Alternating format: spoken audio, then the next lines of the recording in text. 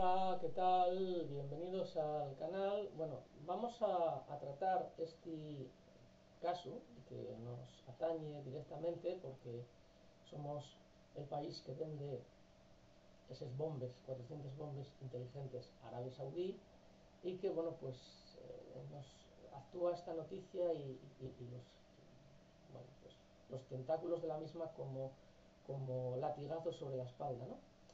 Eh, España casi duplicó la venta de armas a, Arabia Saudí el año en que estalló la guerra de Yemen y eh, es la capital, eh, es el tercer cliente de defensa tras la Unión Europea y la OTAN. Bueno, eh, decir que España se ascribió a, un manifiesto internacional que bueno, intentaba y mantenía no vender armas a países que pudiesen utilizarlo contra inocentes, como en el caso. Aparte, Arabia Saudí una teocracia, una, una dictadura, una de las seis dictaduras más férreas según Naciones Unidas, en las que, por ejemplo, las mujeres solo pudieron votar eh, a partir de 2015 y solo pueden conducir a partir de junio de 2017, ¿no?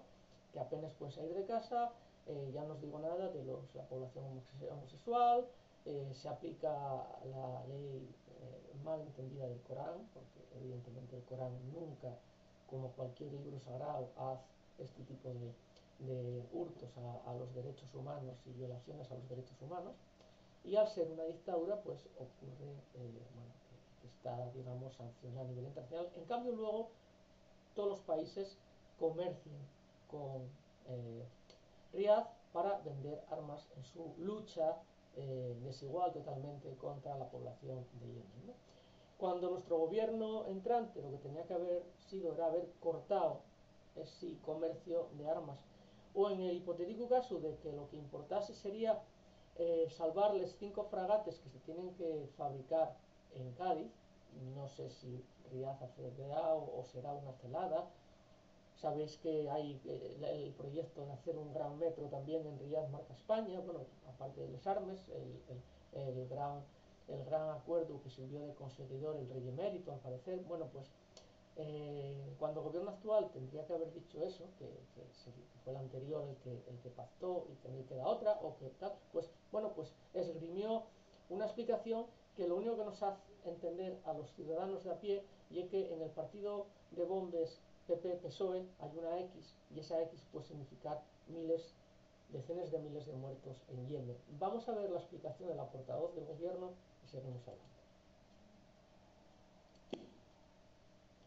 El gobierno puede garantizarle a la población española, está en condiciones de decirle que esas bombas, dentro de unos meses, no vamos a ver que esas bombas han matado a civiles en Yemen. Si tiene alguna garantía y qué pasaría si sucediera, qué responsabilidad asumiría. El gobierno eh, sabe que lo que está vendiendo son láser de alta precisión y por lo tanto, eh, si son de alta precisión, no se van a equivocar matando a yemeníes.